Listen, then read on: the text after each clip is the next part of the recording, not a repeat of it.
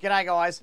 Now when we go snapper fishing, everyone says, what's it a burley? What are you using? It's a combination. Let me show you what we're putting in the bag. And all I have to use a big soft bag like this because if I've got old carcasses at home, old mulies, I can just stuff them in there. It's nice and stretchy. Doesn't matter what shape they're frozen and we can make them work. Now, a couple of bits and pieces to it. I like these tuna logs. These are actually just concentrated tuna oil. It's really good getting the slick going.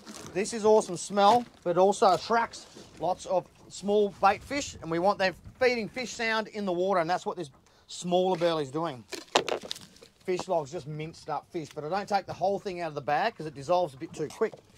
So I just put like a couple of slits in the bag, both sides, just like that. And then I put the whole plastic bag straight into the burley bag. And then that way it's a bit more slow release and we'll get a good couple of hours out of it. So I like a couple of those.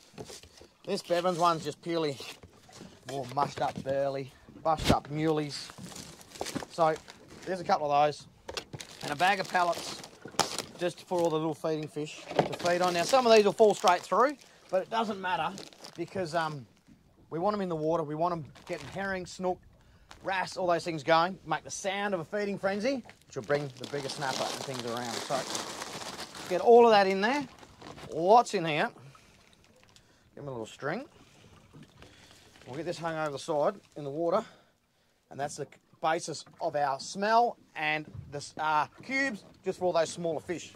Get that in the drink when you first land, and then we're going to go to cubing, and I'll show you that in a second.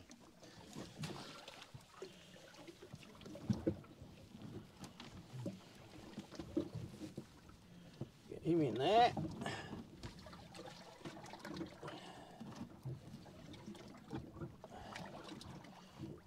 And don't drop it to the bottom because it'll just cause a problem. Right, down the bottom. Yeah, keep it up on the top. You'll notice we've just dropped that burley bag. It's just sitting level on the top of the surface. Down the bottom is going to cause me nothing but trouble. Tangles, I get that big one he wraps around, not going to be happy. We're only in 12 metres of water. That burley's just going to float down to the bottom. You can always already see the slick that that's starting to make. Let's chop up a few cubes, get in the water, and we're going to get some floaters out there so we can find ourselves some pink snapper. I know they're here. These tricks and tips are just to help you have some more success like we do, hopefully. Let's see what happens tonight.